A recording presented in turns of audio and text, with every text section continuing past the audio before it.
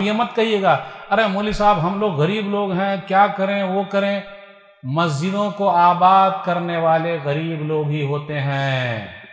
मालदारों के पास टाइम नहीं है कि वो मस्जिदों को आबाद करें।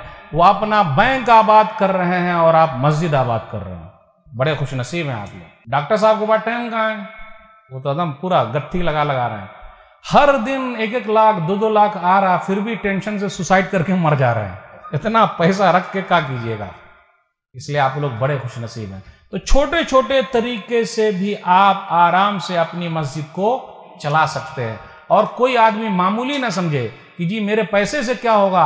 आपके पैसे से बहुत कुछ हो सकता है, लेकिन शर्त है कि आपने निकालना। तो यह है मस्जिद को चलाने का एक आसान सा तरीका।